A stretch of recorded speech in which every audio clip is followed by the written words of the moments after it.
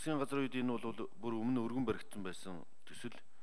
Аа гэхдээ төсвийн хөлтэй бол өмнө засгийн газрын үед өргөн барихтаа хамт өргөн бариагүй. А одоо бол нэг яаралтай нэг яаралтай яаралтай гормоор хилцүүлэхээр оруулж ирж ердийн журмаар хэрэгжүүлэх ийм саналыг оруулсан.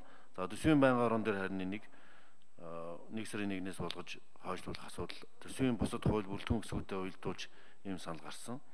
Тэгэхээр энэ ердийн журмаараа хэрэгжээд явъя. Гэсэн ийм л зарчмын саналтай.